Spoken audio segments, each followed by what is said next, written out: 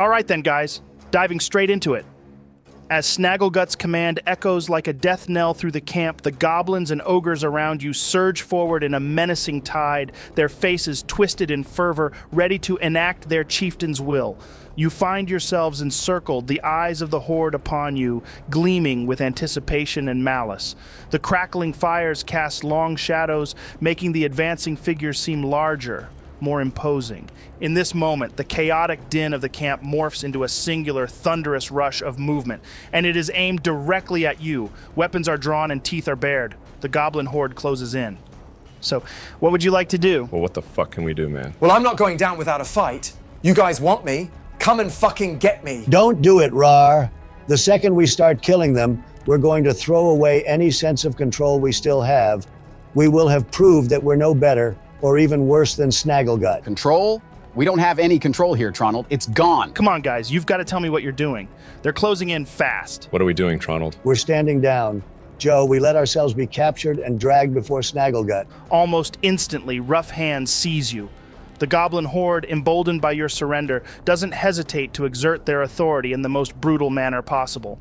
You feel fingers, coarse and unyielding, wrap around your limbs and hair, yanking you with force that leaves no room for resistance. The ground beneath you becomes an unforgiving companion as you're dragged over rocks and through mud. The very earth seems to claw at you, snagging at your clothes and scraping against your skin. Finally, you're brought before Snagglegut, the massive goblin chieftain whose presence dominates the clearing. You're lined up, your arms wrenched painfully behind your backs by the sturdy grip of Snagglegut's enforcers. Saxy, Tronald, Rar, Alexandrew, and Might, you all stand in a row, a motley crew of defiance in the face of overwhelming odds. Nearby, Grizzletooth remains grounded, still lying face down on the ground. Gulba is also dragged beside you all. The camp around you falls into silence, the air thick with the tension of a thousand held breaths. Snagglegut's gaze sweeps over you, a slow, deliberate inspection that feels like the caress of a blade. Did you honestly believe you could infiltrate my ranks, sow seeds of dissent among my warriors, and orchestrate a coup within the very heart of my domain? Did you really think you could turn my troops against me? I, who have led them through battles and bloodshed, who have secured their loyalty with the spoils of our conquests. He paces before you, a predator circling its prey. You dared to challenge my authority, to undermine the order I have established, and for what? He steps forward towards you, Saxy, as he begins to lean in incredibly close, the stench of blood and iron pungent on his breath. Let me tell you about loyalty. It is earned through power and through fear. Loyalty is knowing the price of betrayal. You have made your play, and you have lost. But know this. Betrayal against me, against the Horde, is a death sentence. And I am judge, jury, and executioner. That's where you're wrong, Snagglegut. You see, loyalty born out of fear is a fragile thing. It holds as long as the shadow of terror looms over those you claim to lead. But fear is a fickle master. It only works until the feared becomes fallible, until the shadow recedes, until the sun rises. Loyalty fostered by fear might compel a man to lay down his life for you. But there's another kind of loyalty, one that's far stronger. Loyalty that comes from love. As the echoes of Saxy's challenge to Snagglegut ripple through the air, you observe a subtle but unmistakable shift among the assembled goblins and ogres. The firm grip on their weapons loosens slightly as their gazes dart between their comrades, searching for a sign of consensus or dissent. Their previously unwavering support for Snagglegut now seems tinged with doubt, their faces etched with questions and contemplation. Whispers begin to spread, a low murmur of uncertainty that snakes through the crowd, drawing their attention first to Snagglegut, then to Grizzletooth as he makes an effort to rise, and finally to Goba, small in stature but resolute. For a fleeting moment, it seems as though the very foundation of Snagglegut's rule could be questioned, as if a single breath could tilt the balance towards change. But then, Snagglegut's voice smashes through the gathering uncertainty like a hammer through glass. Silence! He takes a deep breath as he looks around the camp, eyeing each and every goblin and ogre up as he snarls his teeth before returning his gaze back towards you, Saxy. Loyalty born of fear. is all these lot will ever know. Respecting strength, revering power. This is the fabric of our horde. Every single one of these goblins, these ogres, would lay down their lives for me, not out of love, but because of the fear that cements their fealty. This is our way, and it is the only way they will ever understand. Yeah. Loyalty born of fear will make them die for you. But loyalty born of love. Loyalty born from love will make them want to live for you. Holy shit, dude. That was nice. Give me a persuasion check with disadvantage, Saxy. Uh, that's a 12 total, Joe. What was your highest roll, buddy? My highest one was a natural 18, but my other one was meh. Okay, so I'm going to give Saxy my Portent 17, Joe. Oh, nice. So what does that bring you to then, dude? That will bring me to an 18, Joe. Saxy, as your words take root, a clear divide splits the horde. On one side, your eyes catch the glint of steel and iron as, one by one, weapons begin to fall to the ground. The sound of swords, axes, and spears clattering against the earth resonates like the first drops of rain in a storm through the night. These goblins, marked by a newfound resolve, stand weaponless, their silent rebellion a contrast to the unwavering loyalty of their counterparts. The air crackles with the tension of a horde cleaved in twain, a visual representation of the internal struggle that grips each member. Some gaze upon their disarmed brethren with confusion, while others grip their weapons tighter. Fools! Are you just going to listen to the words of outsiders who have been among us for all of a few days? Have you forgotten the blood we've spilled together, the battles we've won? Will you throw away your loyalty, your heritage, upon the whims of those who know not our ways? Snagglegut throws his arms outward in a rage before he starts beating on his chest. To question your loyalty to me, to us, is to deny your very nature. We are the Horde, united by strength, by the respect we command through power. To side with these interlopers is to betray everything we stand for. Joe, I looked to Gaba and mouthed to him, This is your time, Gaba. He's painting us as outsiders. You must show them the leader you are, the leader you will be. Gaba acknowledges what you say, Tronald, and a fire ignites in his eyes. He shrugs at the goblin who's holding him, whose grip has already slackened amidst the unfolding drama. Listen up, lads and lasses of our mighty horde. I've been thinking, dreaming, really, about what we're all doing here. It's been all about surviving under the thumb of fear, hasn't it? But, but what if I told you there's another way? Yeah, I'm talking about a horde where we ain't just scared pawns. A place where we stick together, not because we're terrified of getting squashed, but because we genuinely have each other's backs. Think about it. A horde where every single one of us, be you goblin, ogre, or whatever else, has a say. Where we fight, not because we have to, but because we want to protect what's ours and each other. Where strength ain't about making others cower, but about lifting each other up. This dream I've got, it's not just for me, it's for all of us. This dream I cannot fulfill alone, but together we can ditch the old scare tactics and build something epic. A horde that stands out not just for how tough we are, but for how tight we are. Snagglegut's laughter booms, echoing throughout the clearing. Before he steps within touching distance of Gaba, he bends low, pressing his forehead against Gaba's. So you admit it then, right from the little weasel's mouth. Who in the blazes of hell would ever want to follow you, eh? You're weak, a spineless little runt. What kind of leader is too scared to face his opponent head on? What kind of leader skulks in the shadows, weaving plots and schemes, attempting to poison his way to power? That's no leader. That's a coward. Snagglegut grips Gaba's neck tightly as he pushes him downward, Gaba's knees almost buckling under the weight. You think you can change the Horde with dreams and speeches? You think they want a leader who can't even stand up for himself? Leadership is strength, power, and fear.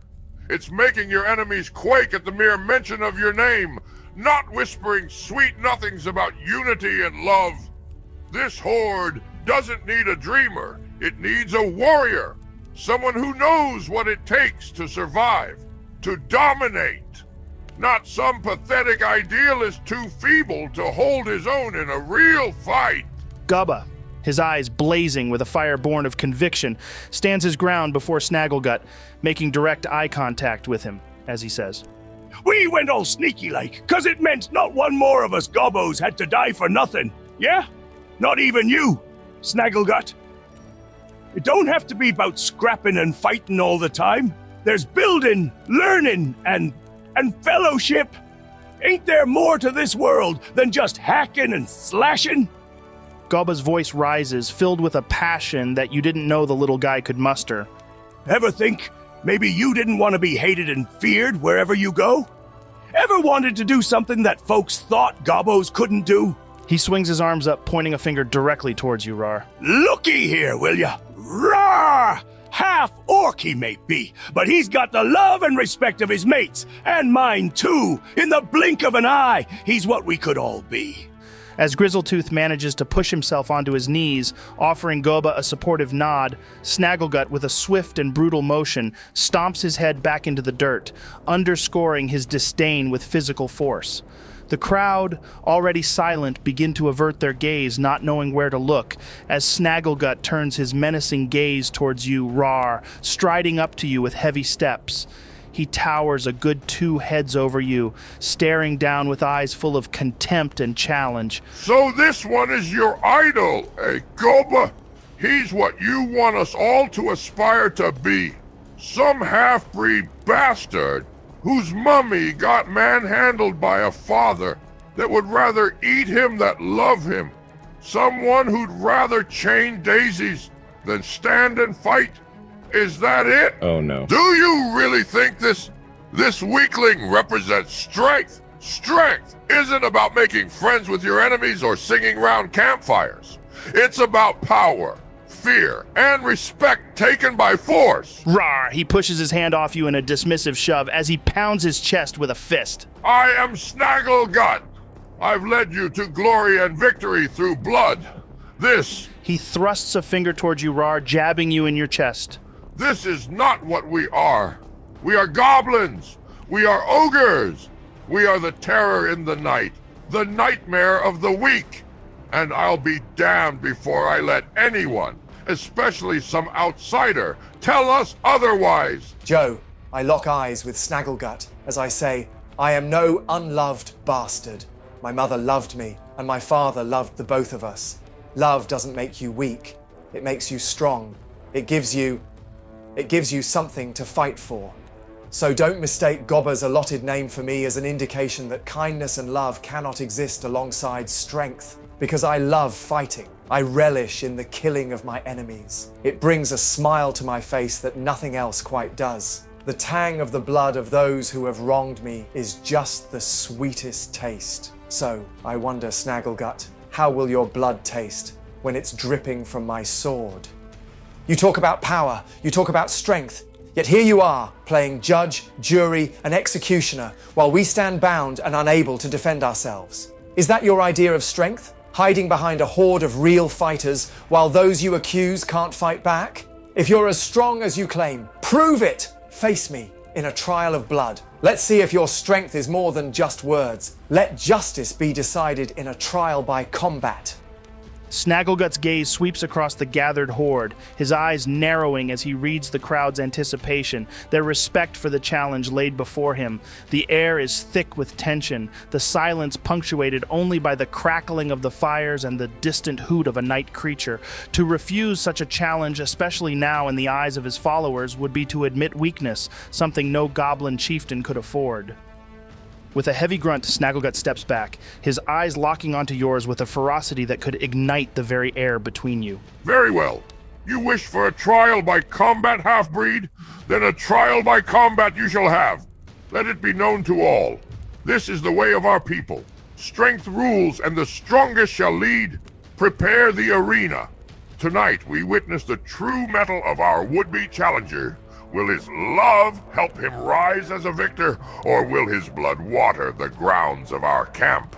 As the uproar from the horde engulfs the camp, a primal fervor takes hold. The cacophony of roars, cheers, and the relentless clash of weapons against shields creates a tumultuous symphony, each goblin and ogre voicing their anticipation for the impending bloodshed. Some cry out for the upheaval of the old order, others for the demise of the challenger, but most simply for the spectacle of combat. Snagglegut, his figure imposing and unyielding, strides with purpose toward the fighting pits. His pace is steady, each step a declaration of his readiness to quash the rebellion or die trying. With all of you being aware of the camp's layout, you calculate that there is around three minutes before your arrival at the arena.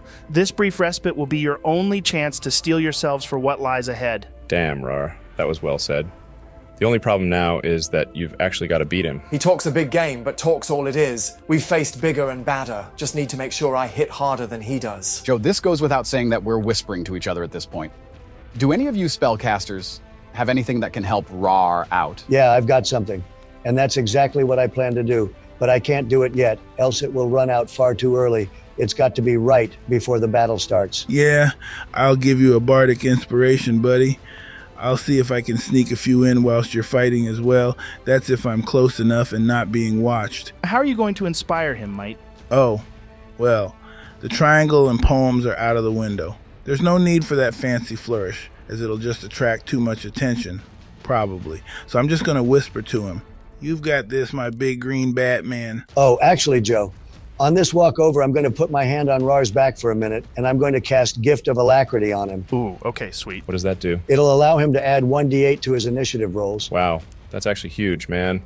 I don't know how strong this guy is, but he took that Ziggletoe out in one hit. So if Rar can make the first move, getting his rage popped off, then it's got to boost his odds, surely. Oh, and I'm going to cast False Life on you, Rar, at level 2. This will give you an additional 11 points of health. Thanks, guys. All right then. As you, Rar, approach the fighting pit, you're met with a sight that sets your heart thundering like the drums of war. The pit is a yawning maw in the earth, bordered by towering spikes that seem to thirst for blood. Fires blaze at equidistant points around the circle, casting a hellish glow that dances across the weapon scarred ground, and the twisted, eager faces of the crowd perched above like carrion birds waiting for a feast. You can almost taste the desire for violence on your tongue, heavy and acrid as the smoke that coils lazily upward into the dark sky. Snagglegut leaps into the pit with a bestial grace that belies his bulk, throwing his arms wide in a challenge to the heavens themselves. He bellows, a raw sound of defiance and power that ripples through the crowd, igniting a frenzy of cheers. The Goblin Chief moves with a swagger to one side of the pit. All right, then. I guess this is it. I'll see you guys on the other side. Or not. Who knows? Wait, Rar. I'm going to give you a little buff. But as soon as it's been cast, you need to engage him immediately. It won't last long. Okay, Joe. I'm going to cast haste on him. Okay, I'm going to need you to make a sleight of hand check, Tronald. Lucky. That's better. All right, so that's a 19 total, Joe. All right, sweet. So it doesn't look like anyone saw you do that. Okay, as soon as I feel the power of Tronald's spell rushing through me, I jump into the pit. Then I fucking rage before charging towards Snagglegut. Nice. I'm going to need you to roll initiative for me, Rar.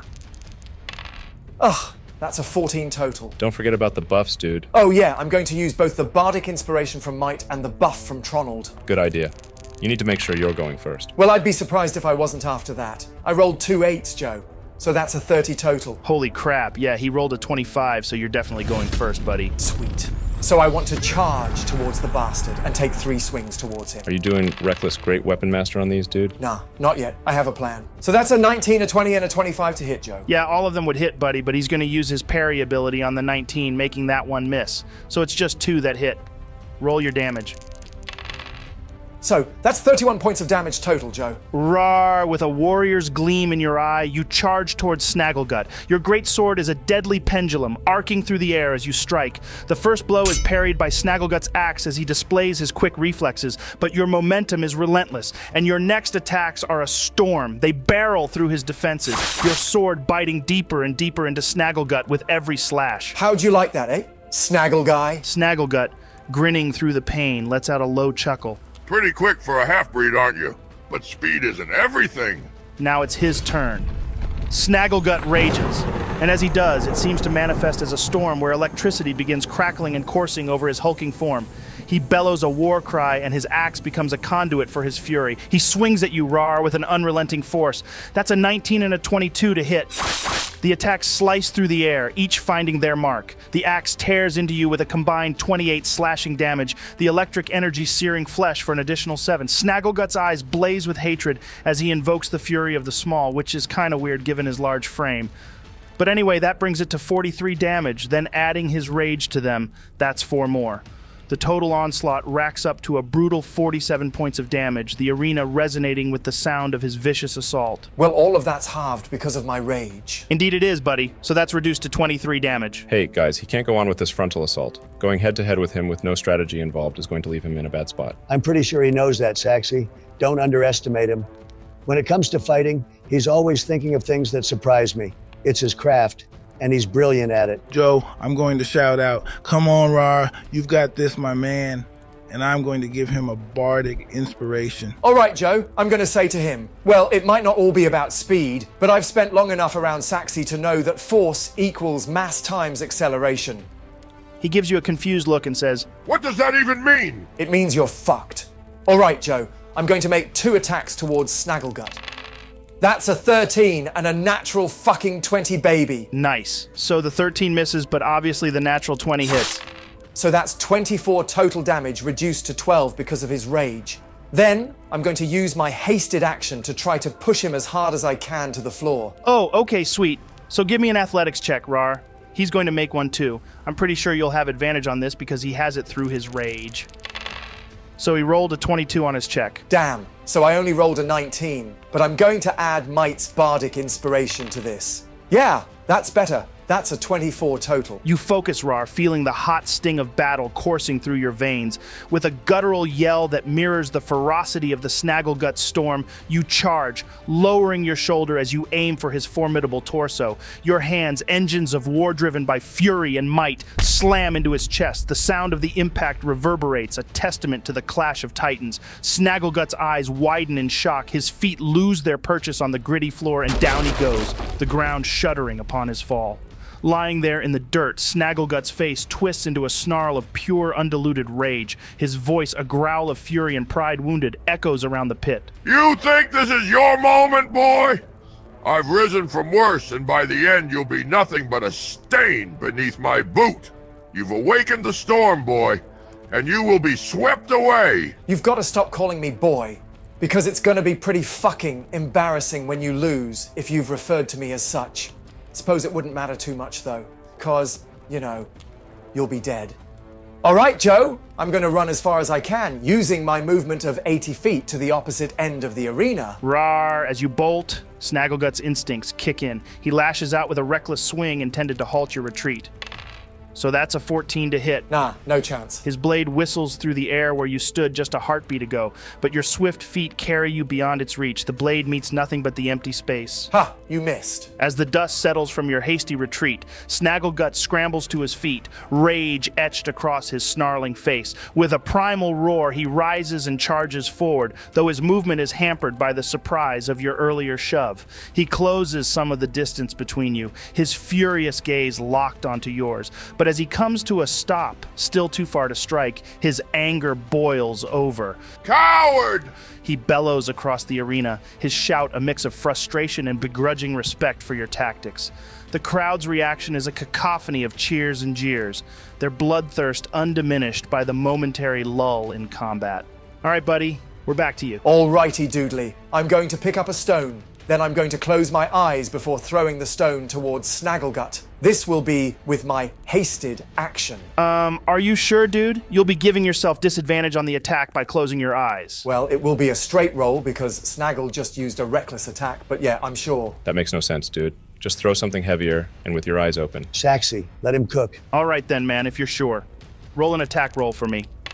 Yes, that's a natural two. Hey, eh? why is he getting excited over the fact that he's going to miss? He's probably got some big brain move going on. Then, with my actual action, I'm going to gather as much of these barricades as I can before I start throwing them into the fire. Basically, I want to make it bigger. Yeah, sure you can do that. Then I'm going to move over here, Joe. You know, so the fire doesn't eat me. Rar, you set to work with determined grunts, grabbing the wooden barricades with both hands.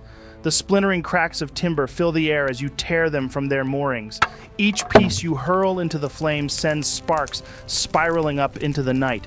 The once modest fire begins to roar with newfound ferocity, casting a wild dance of shadows across the pit walls. Snagglegut watches, perplexity twisting his brutish features. After a moment, he sneers and calls out, his voice laced with mockery. Look at this, lads! Seems our fearsome challenger prefers to play with fire than face a real fight. Are you building yourself a nice cozy bonfire to warm up your cold feet? Oh, don't worry about it. How about you just focus on catching up to me, you hefty, slow fucker? He's going to move 30 feet towards you, Rar. Then, once he realizes there's no way he's going to be able to reach you, he's going to use his action to do the dodge action. So it's your turn again, buddy. Well, if you're just going to stand there gawping, putting up your defenses with your ickle dodge techniques, don't mind me if I just gather more wood to make this fire bigger. Joe, I'm just going to get more wood for my fire with my action. Then, with my hasted action, I'm going to pick up a small rock or a loose piece of wood, close my eyes again, and throw it at his noggin. You're confusing me, dude. Go on then. Roll an attack with disadvantage. Nice. That's a 13 to hit, Joe. That misses. Good. You're losing me, man. Are you just fucking around, or do you actually have a plan? It's from Sun Tzu's Art of War. How can the enemy know what you're about to do next if you yourself don't? I don't think that's an accurate phrasing, Alexandrew. It doesn't matter if we know what he's doing. He knows what he's doing. That's what matters. So, as I said before, let him cook. All right then. So it's Snagglegut's turn. So his rage has faded at this point. As Snagglegut realizes his rage has subsided, a momentary flicker of vulnerability crosses his monstrous visage, quickly replaced by a renewed fury. With a deep, bellowing growl, he invokes his rage once more, electricity crackling around him like a tempest reborn. Then, with a ground shaking roar, he charges across the arena toward you, using every ounce of his considerable strength to dash as the ground trembles with each step. However, once he realizes he cannot make up enough distance to reach you, his voice thunders across the fighting pit, filled with unchecked rage. You think you can toy with me, Raw? You think you can make a fool of Snagglegut in front of his horde? I'll crush you! I'll show them all what happens to those who dare stand against me! Spittle flies from his mouth as he shouts, the very air seeming to vibrate with his anger. My God. Can you stop spitting everywhere, please, Snaggle Lump? You're going to put out my fire at this rate. You seem to be making him incredibly furious, Ra. That pleases me. Anyway, it's your turn now, buddy. I want to use my hasted action to shove him. Not onto the floor this time, just five feet away. This is quickly turning into one of our Baldur's Gate 3 sessions with all this shoving. So he rolled a 19. Unlucky for him then, because I rolled a 22. Rar, in a moment of sheer power, you shove him, your hands finding his chest and pushing with all your might. Snagglegut stumbles backwards, his eyes wide with shock and anger at the unexpected resistance. Snagglegut roars, his voice thundering across the arena, each syllable dripping with venom. How dare you continue to mock me? I'll flay you for this, Raw! You filthy half-breed bastard! All right, Joe. I'm going to use my normal action to collect more wood from over here and run on over back to my fire, building it up. Then I'm going to shout out towards Snagglegut. I'm just going to throw a suggestion out for you, Snagglechunk, because it seems like I've got all the time in the world to kill whilst you catch up to me.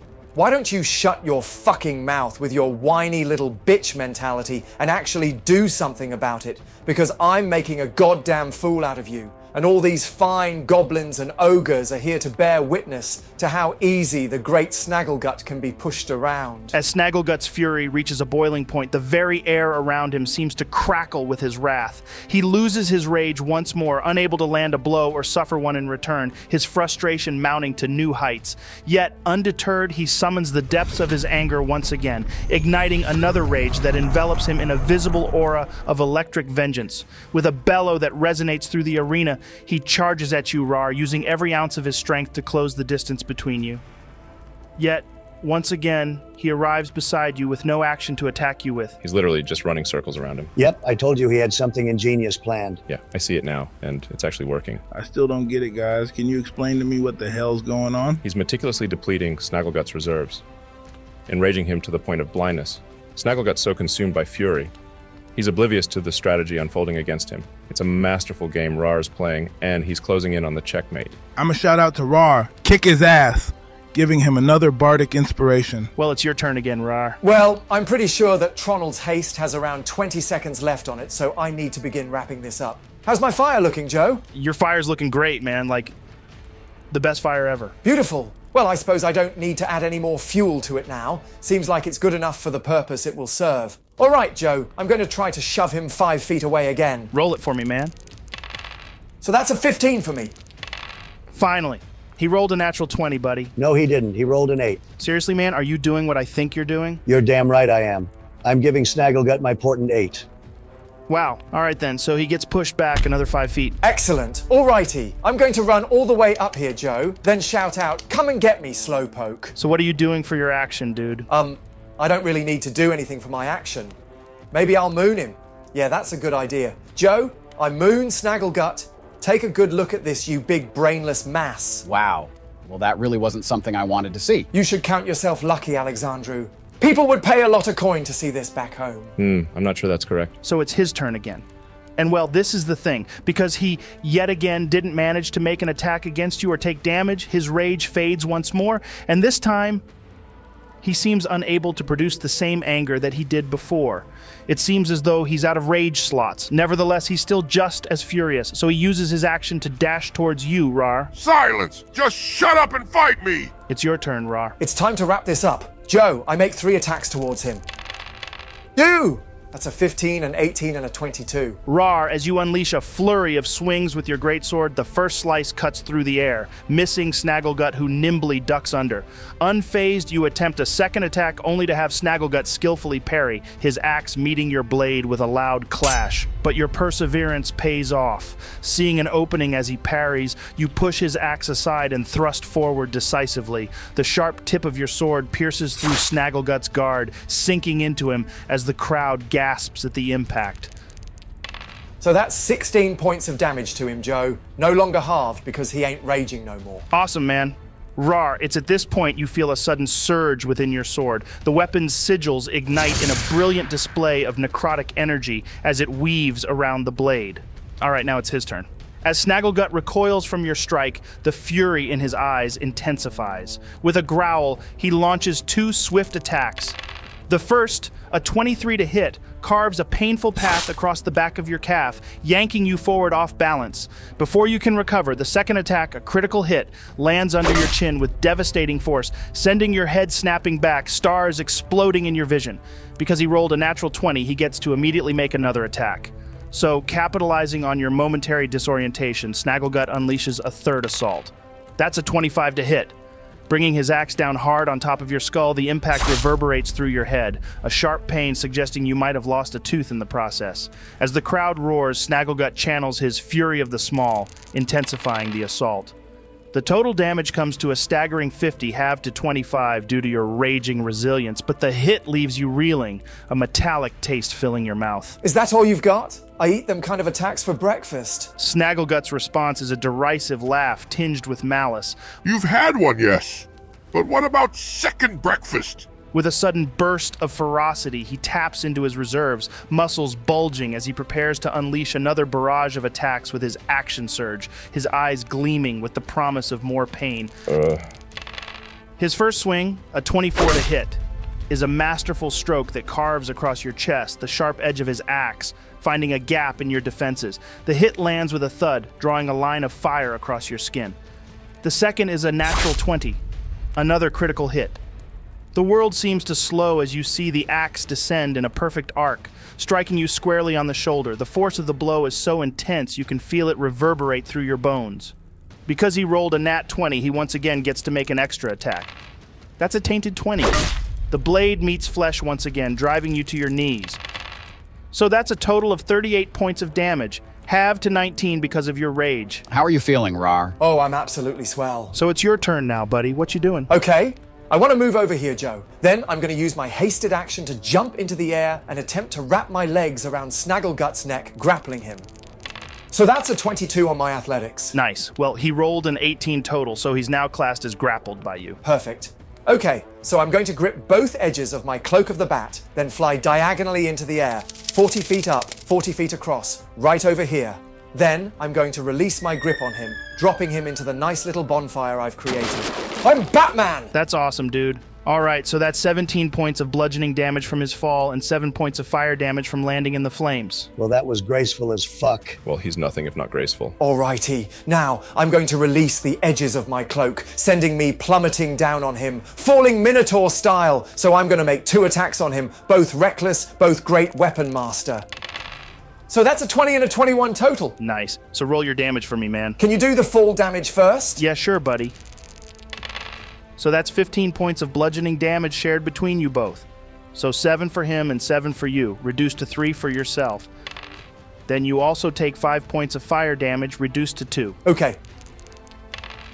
So that's 26 points of damage for my first attack. Then that's 22 points of damage for my second attack for 48 total. Then I'm going to pump my 5d10 necrotic damage from my sword into the second attack. So that's another 26 points of necrotic damage. So, all in all, that's 74 points of damage for this round. 104 if we're including all the fancy extras. Raarh, towering over Snagglegut as you deliver your relentless onslaught. He gasps for breath, managing only a feeble few words. Who, who even are you? Raarh, how do you want to do this? I am the Green God. I am the wielder of Nepthet Ka, the harbinger of Anubis's will. I am the bear elk Batman. I am the bringer of death and the collector of souls. I am also quite the connoisseur of food. You see, I already won this fight before it began, so I thought I'd get the fire going, ready to cook you. I truly hope you taste better than you fight. Then I take a final slash at his neck, taking his head clean off as I grip it in my hands and raise it to the crowd. Are you not entertained? Raarh, as you descend from the sky, a verdant tempest personified, the arena below becomes a blur. Your fall towards Snagglegut is a spectacle of might and fury, kind of like the assault of Levi on the Beast Titan. Each strike of your blade is precise, a dance of death orchestrated by the whispering will of Nepthet Ka. The crowd watches breathless as your final devastating slash severs Snagglegut's head from his shoulders. Time seems to freeze as you grasp the trophy of your victory, lifting it high for all to see. The arena, initially wrapped in a stunned silence, suddenly erupts. A volcanic release of roars and cheers cascades around you, the horde's voices united in awe and frenzied excitement. Your declaration thunders over them, not a question but a statement of the undeniable prowess you've just bestowed upon them. I jump into the arena, Joe, and immediately cast Cure Wounds at level 2 on Raarh, sprucing him up a bit. That's 15 points of healing. I also want to go into the center of the arena, Joe, but I'm going to do it with flair. I cast Vortex Warp on myself, appearing directly beside Raarh, gripping him tightly as I raise his hand into the sky. I'm doing this because the haste has probably just worn off, and I don't want him to display any essence of fatigue. Thanks, best buddies. Then I shout out to the horde Snagglegut's reign of terror is at an end. Hear me, for we stand before you not as tyrants, but as harbingers of a new era, an era where each of you, every goblin, every ogre, will wield a voice as mighty as any blade. Your dreams, your aspirations, they no longer flutter aimlessly in the wind. They are your birthright, attainable through the steel of your resolve and the sweat of your brow. Goba, our chosen leader, will shepherd this new beginning, ensuring that each and every one of you is cherished, your needs met with the diligence of a watchful guardian, while we, your silent sentinels, will guard you from the veils of obscurity. The time for mere existence is past. Now you shall truly live, thrive, and etch your names in the annals of history. If you stand with us, if you embrace this covenant of prosperity and unity, let your voices rise. Let the very foundations of this realm tremble with your acceptance. Let me hear it. The arena, once a cauldron of violence and bloodlust, now surges with an overwhelming tide of unity and joy. Goblins and ogres, moved by your words, leap into the arena, their arms reaching out not in aggression but in celebration. They lift you and your companions high, tossing you into the air as if you weigh no more than feathers, a physical manifestation of their acceptance and their readiness to embrace this new dawn. Oh, for fuck's sake, not this again. Embrace it, Saxy. We know you love it. But amidst the cacophony of cheers and the symphony of newfound hope, a singular sound cuts through the jubilation, a slow, ominous clap. Its rhythm is deliberate, each clap a cold, stark contrast to the warmth of the moment. As you turn towards the source, a path clears amidst the throng of creatures, their expressions morphing from elation to confusion. Walking through the corridor formed by the divided crowd is a figure you're very familiar with. It is Elder Rattlebone, the real Elder Rattlebone. Seriously, this can't be fucking happening. Elder Rattlebone steps forward, her presence like a cold shadow stretching across the arena. Her voice, silky yet laced with venom, carries effortlessly to every ear. Oh my, oh my. I suppose congratulations are in order. You've managed to dethrone poor old Snagglegut, but how? By masquerading as me, by exploiting my authority to rally the troops to your cause. At this moment, with a flick of her wrist, a surge of magic ripples through the air, dispelling the illusion that had shrouded Might. The crowd, stunned into silence, gasps and grunts in disbelief. You are but tricksters, vile and repugnant charlatans. Is this the leadership you offer? Deception and falsehood? Is this the foundation upon which you wish to build your new era? And now you propose to replace Snagglegut with. with what? More lies, more shadows. No, this will not stand. I will not allow it. I will assume Snagglegut's mantle, and under my rule, we will not suffer fools or frauds. So hear me now, my horde. Kill them. Kill these deceitful interlopers. Let their blood serve as testament to our strength and our unity.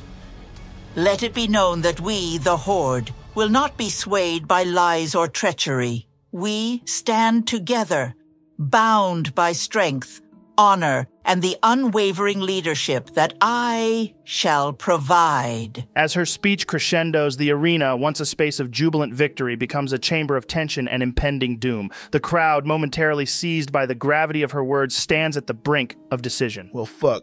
Joe, I step forward, ready to speak to the crowd. Might, as you step forward, ready to address the tumultuous crowd, a firm hand abruptly grasps your shoulder. You whirl around, half expecting confrontation, only to find Grizzletooth, the ogre's face contorted with fury. However, it is not a fury directed at you, Might, but aimed beyond you. Without a word, Grizzletooth positions you behind him, stepping in front of you as his gaze locks onto Rattlebone with an intensity that could burn through steel. How about nah? How about you fuck off out of this camp, Rattlebone? Do you really think we didn't know that this fella wasn't you? I saw through the guise. But you know what? I didn't give a rat's ass. It was the perfect ruse to overthrow the corrupt throne you and Snagglegut warmed with your asses.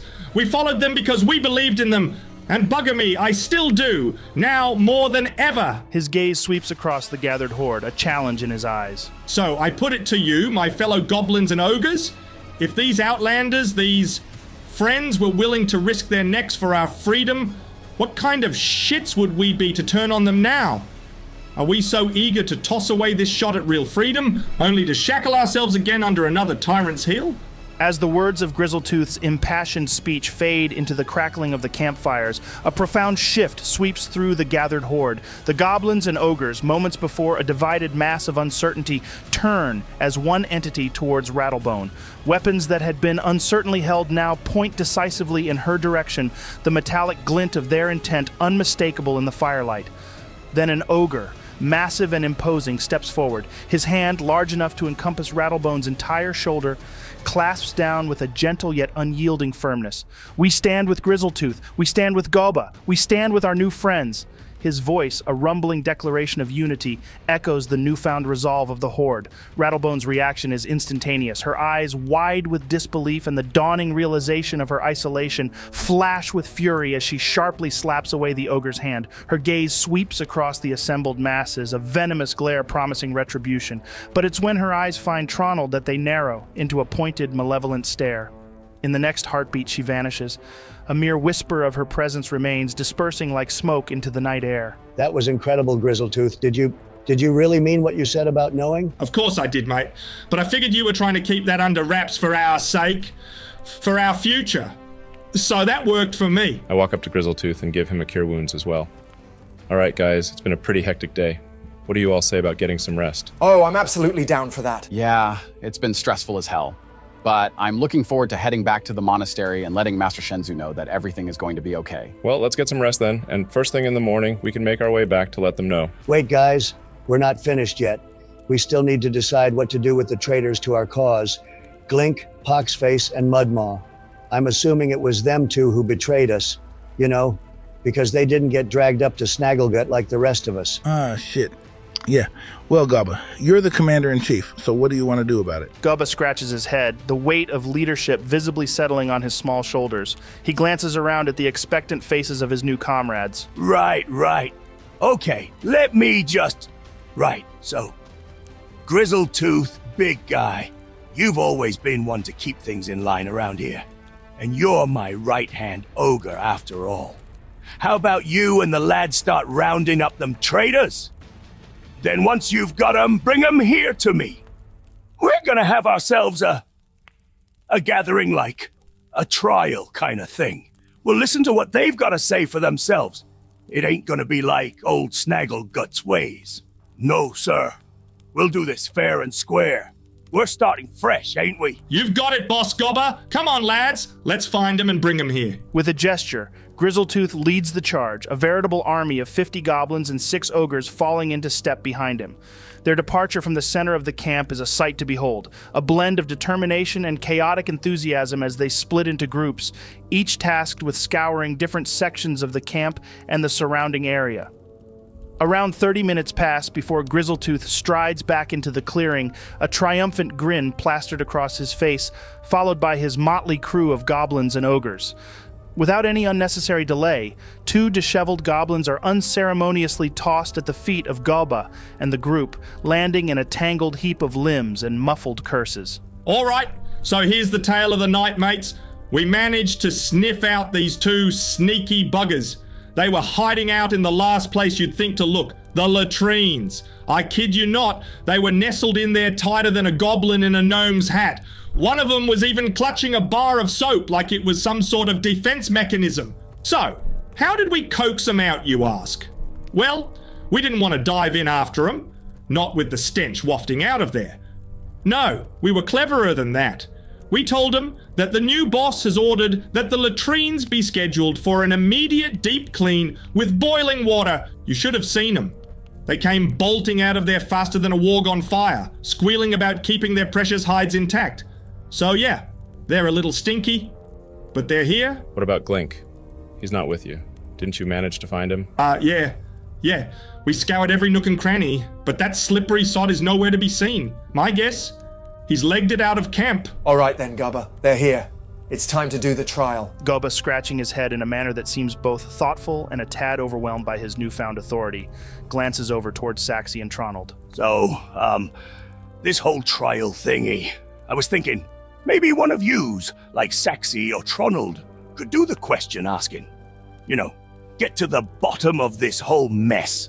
I mean, I just got this big hat of command, and it's still sitting a bit loose, if you get me. Plus, you lot have a way with words that makes mine sound like a frog croaking. Yeah, of course we can, Goba.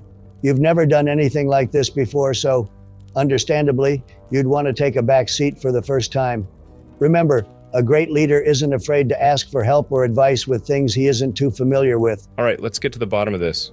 First off, why? Why did you betray our trust, your potential for a better future? The first goblin, Poxface, a wiry creature with a nervous twitch, blurts out, "We we didn't see a future here. Snagglegut, he's he was strong, feared. Thought aligning with him was our best shot. Didn't reckon on all this." He gestures around, indicating the shift in power and the assembly of goblins and ogres eyeing them with a mix of curiosity and disdain. And what of now? Seeing what we, alongside Goba and Grizzletooth, aim to build a community where every goblin has a voice, a chance. Would you not prefer that to living under the thumb of fear? The second goblin, Mudmaw, larger and with a scar bisecting his cheek, grunts before speaking. Aye, sounds nice, that does. But we made our bed, didn't we? Thought you'd just kill us like. Didn't think there'd be talking. All right. If given the chance, knowing full well the penalty for further betrayal would be death, and you would have a lot of trust to rebuild if you were to stay, would you not want to be a part of this new vision or would you rather take your chances outside the camp's safety? The wiry goblin's eyes dart between Saxy and Tronald, then to Goba and the expectant crowd before sighing. Always thought the grass wouldn't be greener on the other side, I did. But look where that got me. Given the chance, I'd. we'd stay. But that's your call, ain't it? Okay. Goba, I think that's all the questions we need to ask. It's time for you to make your decision. Goba steps forward, clearing his throat as he prepares to address not just the two goblins before him, but the entirety of the camp gathered around. His voice, surprisingly firm and authoritative, cuts through the murmurs of the crowd. All right, here's the deal. I've heard what you've said, and I've seen the choices you've made. It ain't easy deciding the fate of others, especially when betrayal stings deep. But here, in this new era we're ushering in, we're about second chances. About proving that we're better than the old ways. Better than Snagglegut. Better than fear. You two will stay. But don't think it's going to be easy. You'll have to re earn the trust you so carelessly threw away. From this moment, your ranks are stripped, your possessions forfeited. For the next three months, you're on probation. If you can stay clear of trouble, show us you're truly with us, you'll get your stuff back, plus a fair share of the camp's earnings during your time of service. But let's be clear these three months won't be a holiday. You'll work for the camp, maintain it, ensure it thrives. Show us, show me that you're worth this second chance. Prove that you believe in what we're building here. Do that, and you'll find a place among us once again. Fail, and you'll find the gates of this camp closed to you forever. That's a fair punishment, Goba. Well done. All right, I'm off to explore Snagglegut's stronghold before heading off to bed. You want to come with us, Goba Grizzle? Nah, mate. I might be all bashed up, but the night's still young. We've got a whole camp to celebrate with, plenty of grog to go around, and oh, can't forget, frog tossing. Wouldn't be a real celebration without a bit of that now, would it? Go on, explore what you want to explore. I'll be here living it up the only way we know how grog in one hand and a frog in the other. Yeah, I reckon I'll stick around here too. There's a lot to take in, and honestly, I want to soak it all up. This. This is a night of firsts for many of us, aye? First night of our new lives, free from the shadows of Snagglegut and fear. Let's make it one for the history books. Plus, I've got to make sure no one gets too out of hand with the celebrations. Someone's got to be the responsible one, and it looks like that someone's me. For now, anyway. Enjoy the stronghold, you lot. We'll be here, making sure the camp's still standing. Come morning. All right. Well, don't have too much fun without us. Okay then, Joe. We head up to the stronghold. Before we do, I just want to go back to the pit where Snagglegut's body is. I walk up to his charred remains and search his body for any sort of key. I'm guessing he will have a few goodies locked away up there, along with doors we probably won't want to smash down. So, probably best we find a way of opening them. That's a good idea, man. Give me an investigation check, Raarh. That's a 15. As you approach the remnants of Snagglegut, the air still tinged with the scent of charred flesh and metal, you find yourself almost hesitant. The once fearsome leader of the goblin horde is now nothing more than a heap of blackened flesh. Among the debris, something catches your eye, a small metallic glint. Crouching down, you brush aside some of the char, revealing a singular key lying amidst the ruins. Key now in hand, you head towards the stronghold, the very heart of Snagglegut's domain. The hanging cages sway gently in the night breeze. This part of the camp is deserted, the celebrations and chaos of the Horde's newfound freedom happening far from here. It gives you a moment of peace, a chance to reflect on the battles fought and the lives changed this night. Okay, I want to try to open the main doors. As you push open the massive double doors, they give way with a groan, revealing the grand interior of the fort, a structure long abandoned by humans, now reclaimed by the goblin horde. The torchlight flickers, casting shadows across the aged stone walls, where dust and time have settled into every crevice. The hallway before you is lined with statues of human warriors, their stances noble, their faces set in expressions of valor and determination. These silent sentinels of a bygone era, carved from chipped marble, stand guard over a fort they could no longer protect, their polished surfaces reflecting the dim light. Beyond, the corridor diverges, leading to various chambers that once buzzed with the life of its human inhabitants. Now these rooms stand empty, their grandeur a memory faded by time. Tapestries, once vibrant, depicting battles and heraldic achievements, hang limply from the walls. Their colors are dulled, the threads thinning. Well, shall we have a look around to try figure out where Snagglegut keeps his stash? Yeah, sure. But I'm actually incredibly interested in these statues. They seem incredibly grand for just a random fort. Well, if you're interested in them, why don't you investigate it a bit? We're in no rush. Okay, if you guys don't mind. Yeah, uh, I'm going to investigate these statues further, Joe. Is there anything about them that I recognize or am familiar with? Give me a history check, Saxy. That's a 23 total, Joe. Saxy, with your curiosity piqued by the statue's grandeur, you take a moment to examine them more closely. Each statue stands tall and imposing, their poses suggesting readiness for battle, a silent vigil in the now silent fort. The craftsmanship is exquisite, each detail meticulously carved from the folds of the cloaks draping their shoulders to the determined set of their chiseled jaws. Upon closer inspection, you notice a marble emblem on the clasps that secure the cloak to the armor of each statue. The emblem, now tarnished by time, features a roaring lion, its mane flowing back into a flame, a symbol of strength and valor. Surrounding the lion are intertwined vines, symbolizing unity and growth, all encased within a shield. This emblem, you realize, belongs to a Lord Aelius Gallius, a revered warrior and a loyal vassal under the previous Emperor Valerius. Lord Aelius was known for his strategic brilliance. His exploits on the battlefield were legendary, and his leadership was said to inspire those under his command to feats of valor that echoed throughout Auroros. The presence of these statues here speaks volumes of the importance of this fort in times past. It was likely a stronghold of strategic significance, a bastion of power and protection for the realm. Lord Aelius's association with this place suggests it once served as a key defensive position, or perhaps even his personal command post during campaigns to quell rebellions or repel invaders. Hmm. You don't happen to remember anyone by the name of Lord Aelius Gallius, do you, Tronald? Not from the top of my head, no. Joe, can I remember anyone by that name? Give me a straight intelligence check, Tronald. Hmm, so that's a 14. Tronald, as you rack your brain for any shred of memory regarding Lord Aelius Gallius, faint echoes of council meetings past swirl through your mind. You recall his name being mentioned, a footnote perhaps in the larger political or military discussion.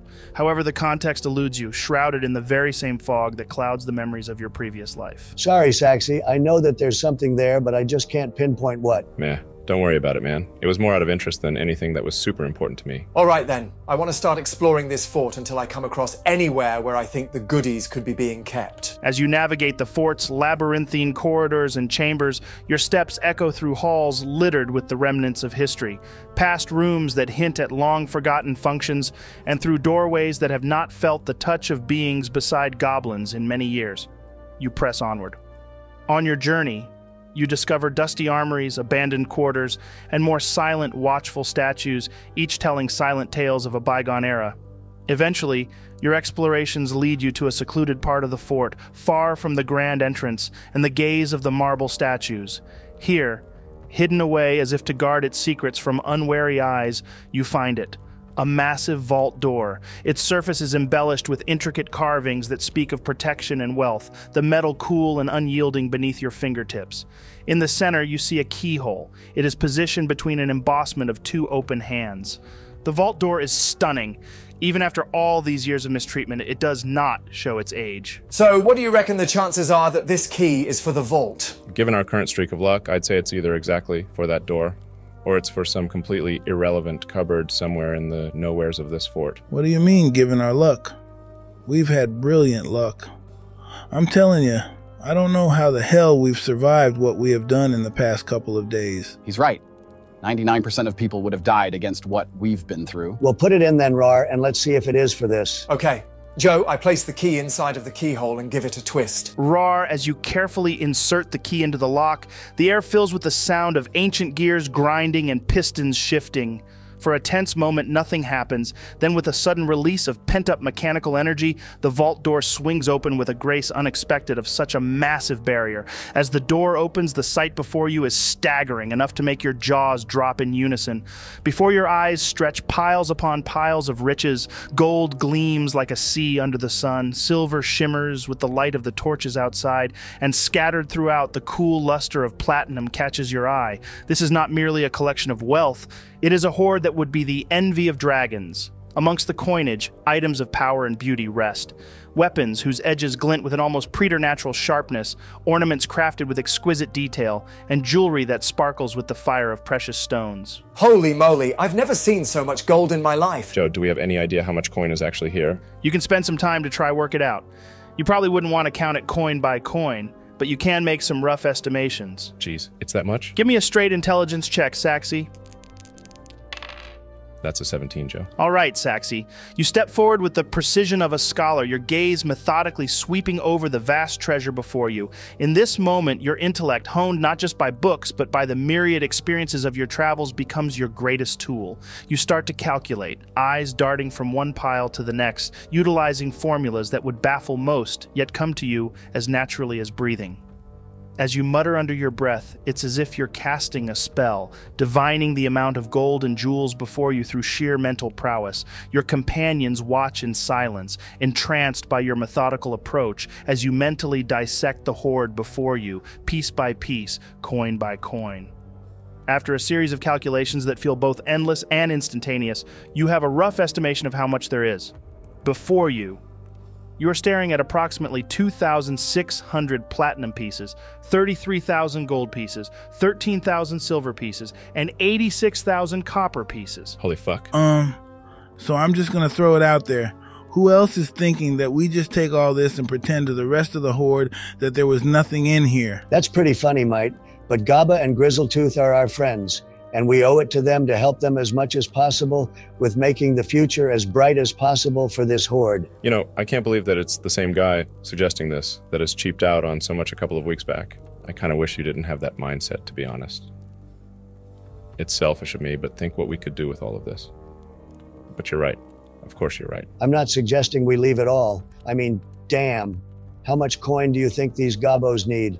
I say we take 2,000 of the platinum. That should be easy enough for the five of us to carry. Then we donate the rest to the horde. I mean, we don't even need to lie about it. We just be truthful. We have taken our fair share and left you with the majority. We're fucking rich! Well, we're certainly better off than we were five minutes ago. But rich? I guess that depends in whose eyes. What I'm trying to say is to build a palace, you'd be looking at around 500,000 gold. So yeah, but we're definitely wealthy now. Huh? What would I need a palace for anyway? What? No, dude, I wasn't suggesting we all chip in and start scouting for locations to palace us up. I was just trying to give you a bit of perspective on wealth. You know, what's a fortune to a band of adventurers versus a kingdom? So, yeah, true wealth. The kind that builds empires, commands armies, and influences the fate of nations. That's a different scale entirely. So, yeah, we're wealthy by most measures. But in the grand scheme of things, it's just a drop in the ocean. A very shiny, very welcome drop, mind you. Joe, I know you said there were items laying around here. Yeah, huh? I don't plan on carrying a bunch of bulk out with me, but is there anything that particularly stands out? I'll just cast Detect Magic, see if there is anything cool laying around. Fuck.